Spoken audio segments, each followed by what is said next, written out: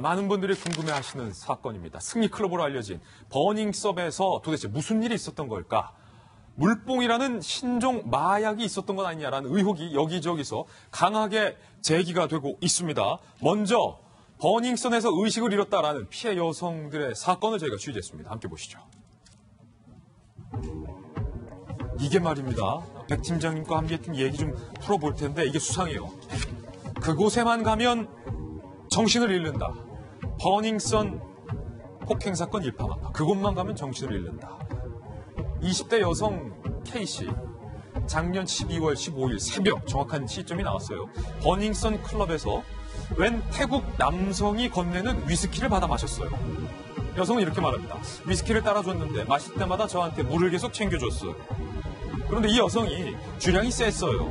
얼마나 셌냐? 평소에 소주 4병. 상당히 센 거죠, 주량이.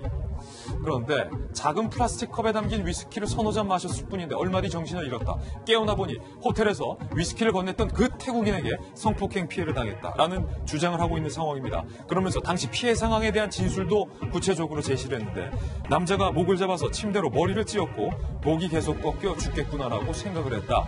실제로 이 여성은 목과 흉부에 전치 3주의 상처를 입었고 산부인과 소견서, 열상 소견서를 제출한 바 있습니다.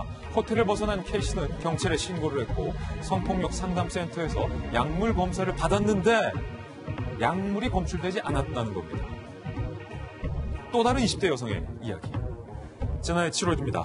이 여성은 혼자 버닝썬 클럽을 방문을 했습니다.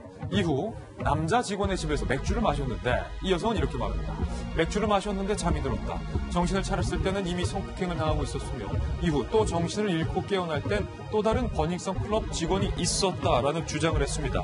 공통점은 이 여성 모두 버닝썬 클럽에서 만난 남성과 술을 마시다가 정신을 잃고 성폭행을 피해 당했다고 주장을 하고 있는 그런 상황입니다. 그런데 백경 팀장님.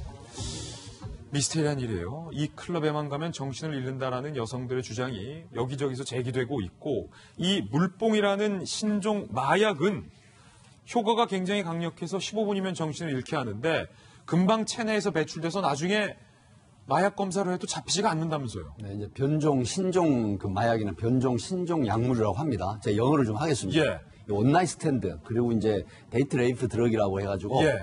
어, 소위 말하면 2000년대 초반부터 강간 약이라 그래서 성폭행 약이라고도 하죠. 좀 고상한 말로는. 그런데 이게 연관성이 있습니다. 소위 GHB. 지금 물뽕이라고 하면 통상적으로 알았지만 퐁당이라고 하면 우리 김진애 그거 잘 모르시죠? 어, 저 처음 퐁당. 네. 예. 퐁당이라고 하는 은어로 지금 많이 사용이 되고 있는데 그러니까 여성에게 이 몰래 음료나 그다음에 술에 타서 주면 예. 이게 방금 말씀하셨지만 10여 분 뒤에 거의 의식을 잃- 잃는 수준 상태가 됩니다. 지금 강남 경찰서에서 방금 어, 리포터 하신 것도 강남 경찰서에서 실제 수사를 하고 있는 사건이거든요. 현재 수사하고 있다. 네, 그렇기 때문에 강남에는 보면 신사동, 청담동, 그다음에 논현동, 역삼동 등에 뭐 상당히 많은 그런 클럽들이 있습니다. 예. 그런데 꼭 이 버닝썬뿐만이 아니라 이런 곳에서 간혹 이 성폭행을 당했다 약물에 의한 그래서 수사를 해보면 실제로 그런 일이 존재를 합니다. 그렇군요. 하기 때문에 저는 이제 많은 그 피해 여성들에게 앞으로는 공짜 술을 조심하세요라는 이런 얘기를 해줍니다. 조심해야 돼요, 진짜로. 처음에는 예. 어, 그게 무슨 말이냐라고 하는데 이런 얘기를 해주면서 사실 정신을 차리고 났을 때는 본인이 어, 신체적인 폭행뿐만이 아니라 다른 피해도 있어요.